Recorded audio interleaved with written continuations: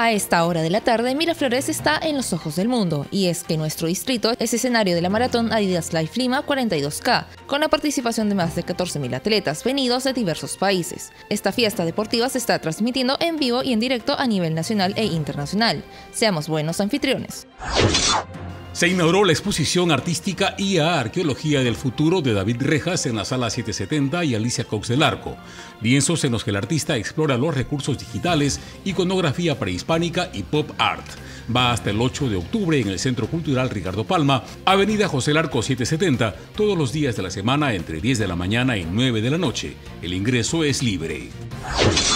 Con un nutrido programa de actividades, la Municipalidad de Miraflores celebró el Día de la Familia. El rol se cierra el próximo sábado 17 con una jornada de limpieza de playas a las 10 de la mañana. Para participar e inscribirse visite la página Facebook Ambiente Miraflores. Trabajemos para reforzar el núcleo familiar. Dentro del marco por el Día del Árbol, los niños aprendieron a cuidarlos y protegerlos con un divertido cuentacuentos que se desarrolló en el Santuario Patriótico Reducto número 2. Consulte las siguientes fechas ingresando a la página Facebook Cultura Miraflores.